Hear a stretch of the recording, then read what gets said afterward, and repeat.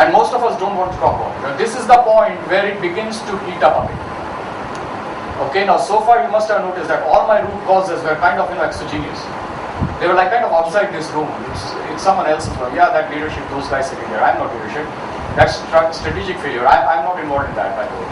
And those poor policies, yeah, I don't make any policies. But there is one root cause which makes everyone very uncomfortable because it is within ourselves. It's the root of all causes. And it's the root of all causes, and that's why it makes us all very uncomfortable because it directly involves us. There is no better way to describe the class to which most of us in this room belong.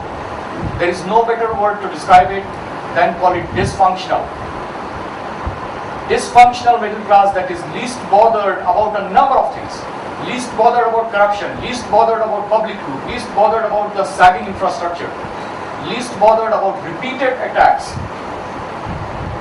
least bothered because we have effectively subverted the system. And a dysfunctional middle class that continues to find excuses. Constantly find excuses. Oh, this is not my problem. I pay my taxes, so why should I bother? Or oh, it's the politician. So, you know, the problem is we have too many people. I'm sure you have heard these phrases before, all of you have. Constant excuses. Too many people, corrupt officials, bureaucracy, literacy, etc., etc. Constantly trying to find excuses and trying very hard, trying very, very hard not to think about it, not to talk about it, just let's pretend, let's all pretend everything is fine. Please don't, you know, disrupt my peaceful Monday evening or please don't disrupt my weekend by talking about these things because I don't believe I'm doing it. This, this dysfunctional middle class is our biggest problem. You and me are our biggest challenge and our biggest problem.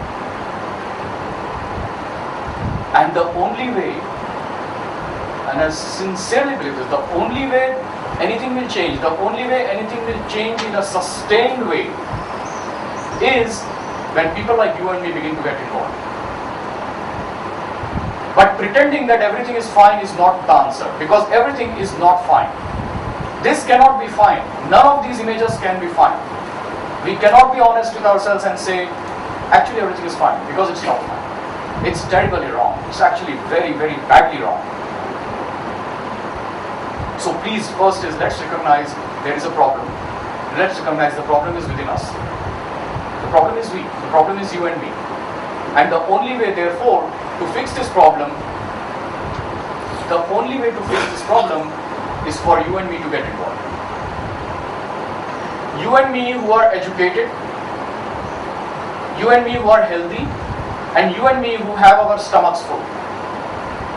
We have what I call the luxury of thought. We have the luxury of thought that is denied to the poor card pusher who is outside selling vegetables. That poor person, that poor guy or the poor woman does not have the luxury of thought. The poor sweeper does not have the luxury of thought. We, we do have that. We have that because our stomachs are full. We know there is food on the table when we get back. We know how to analyze and understand the situation. We know what causes what. And we have, fortunately, all of us have been very fortunate to be blessed with a healthy body. So unless you and me do something about this, there's going to be no change. Because the poor, the destitute, the unfortunate are too miserable. I mean, their whole daily life is a struggle for existence. It's a struggle. We cannot expect them to lead this change. It's very unfair to even consider that. And the very rich have no stake in improving the system. They are effectively out of the system. They're only physically in India, if at all. They're psychologically, they're checked out of India. So really the only hope for change is you and me. And we are therefore the root cause of most of what ails our system, our governance, you name it, whatever ails our society, our country, our nation, in the end, it's you and me who are responsible. It's you and me who prefer to go back and watch TV and say, let me not think about it because you know it's very hard and it becomes painful and it's very problematic. I, I begin to get a headache, or I become very angry, so I don't want to think about it. Yeah, I will do some charity and then I'm fine, I can sleep alright. Or I'll, by the way, I'll go and clean my street also on weekends, just to show solidarity and do some civic activism. That's not going to fix anything.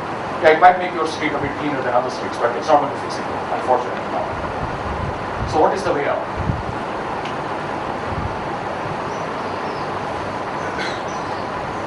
And very simply, from the last several years that I've been thinking about this and dwelling on this and discussing this with people, I came up with three points. Very simple. What needs to be done?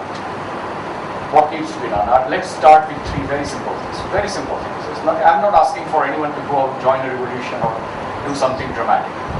No.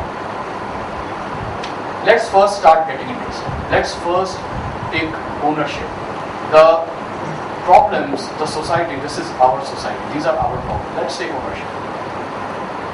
Let's not say this is someone else's problem. Because you know my kids are abroad and they are settled, so why should I care? Oh, by the way, I can also go abroad because I have a green card, I can go anywhere. No, let's not do that. Let's start taking ownership. This is my society, this is my country. If your roof is leaking, you don't expect your neighbor to come and fix it. No one will fix our